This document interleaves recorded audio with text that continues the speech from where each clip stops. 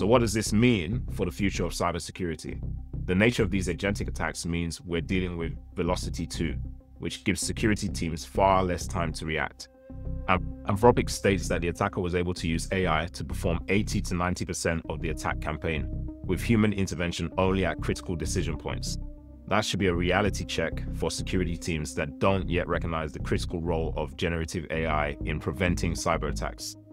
Your attackers are competent and they have the tools available to exploit your vulnerabilities at a pace that your non-AI assisted human analysts simply cannot keep up with.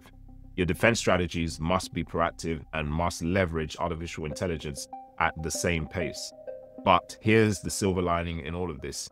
This AI cyber attack actually serves as a blueprint that can be reverse engineered for cybersecurity purposes.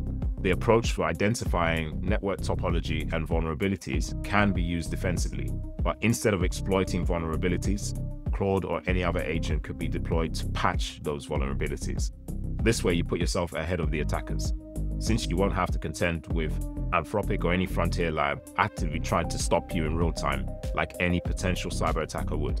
The tools that make these cyber attacks possible are the same tools that can be engineered to bolster your cyber defenses.